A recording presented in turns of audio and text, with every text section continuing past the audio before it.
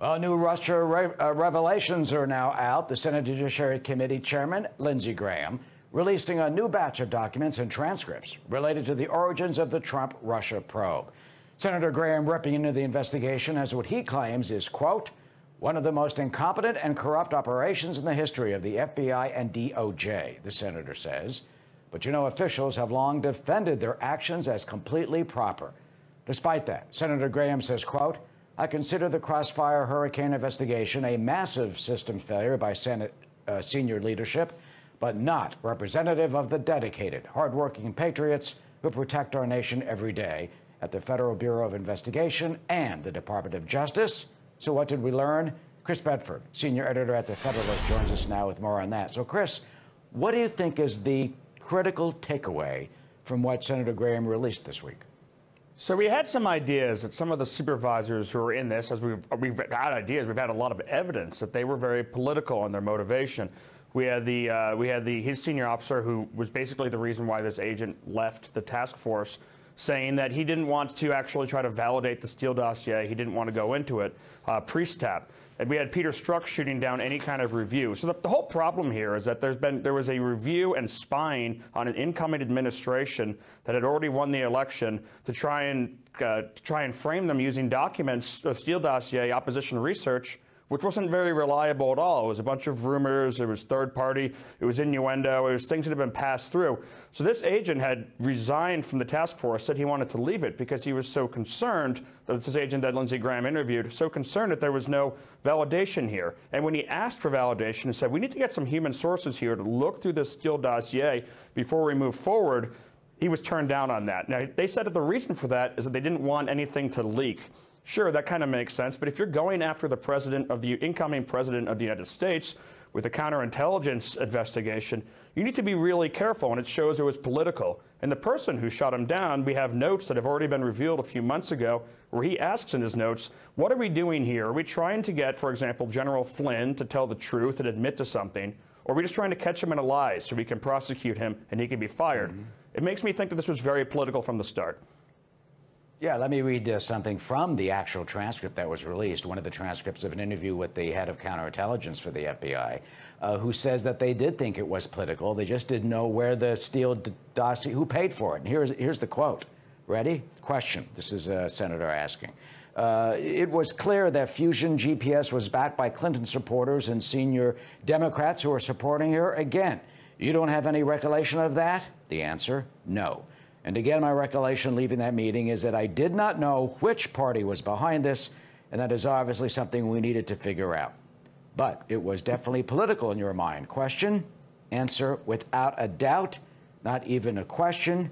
So, so uh, you know, your sense, Chris, that they're seeing it's political. Now, some would say just because it may be politically based doesn't mean it's incorrect. It could be certainly true no matter where it came from. But what say you? And we deal with that in journalism all the time. People come to you who spend a lot of time doing opposition research. They're trying to dig up dirt and dig up information to, to, to hurt their opponents. They're going to come to you with a whole lot of information, and your job as a journalist is to dig through that information, figure out where it's coming from, what the, what, what the motivations are here, and to view it with a jaundiced eye and to confirm it. Now, when you're an FBI agent targeting the president elect, that job is even more important because now you're using powers the American people have given you because we're worried about countering ter terrorism and countering foreign powers, not to investigate our own people. So when they're doing that, you have to be especially careful. Now, this agent tried to be careful and said, hold on a second, this is opposition research. Where is it coming from? It's getting worse and worse every day. And he was turned down on that for fear of leaks. This is way too important of an investigation to be worried like that. They need to be careful and airtight, and they weren't. Then again, in the FBI's defense, look, they, according to the reporting, they saw a pattern of Trump campaign officials and Trump advisors meeting with, with uh, foreign sources, some uh, who they say are foreign intelligence sources, Russians, Russian intelligence, in foreign capitals in Europe. And then you got Paul Manafort and his long history of involvement with Ukraine and the pro-Moscow uh, candidate that he advised, as well as other, that big money trail that you have. So they were looking at this in the FBI headquarters, putting Manafort together, perhaps, with all these sightings that they say that they got also, and put it together and thought, wait a minute, something's going on here. Let me read you this also from what Senator Graham released. Quote, The Trump team received a suggestion from the Russians that the Russians had damaging information on Barack Obama and Hillary Clinton and planned to release it anonymously. That was the information that we had. You receive lead information, you go out and you open an investigation.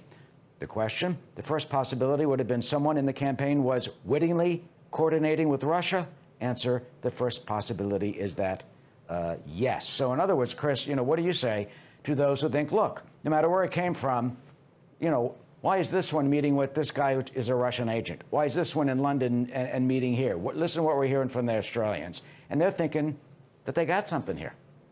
This is not an incredibly uncommon thing to see with an incoming administration or with important people who are advising on this. For example, the Biden administration is not in power yet, but they're already signaling what they're planning to do with adversaries such as Russia and Iran on different deals. There actually there are meetings that have been taking place. John Kerry has been meeting with people frequently. And not all of these people, not all of these actors that you meet in foreign capitals who represent adversarial governments are good actors. It's difficult to find someone who you're going to meet with when you're talking to the Russians or when you're talking to the Iranians that you can really trust. Doesn't mean that those conversations don't need to happen. Now, if, when there's smoke, there's, it's worth it to look into to make sure that there are not compromised things going on. There were some members of the Trump campaign who appear to have had some shady dealings.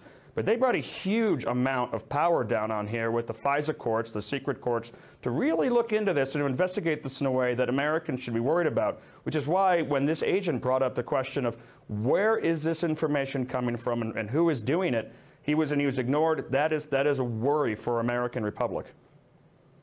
And we will probably hear a lot more about this as soon as U.S. Attorney John Durham issues his full Hopefully. findings and all this.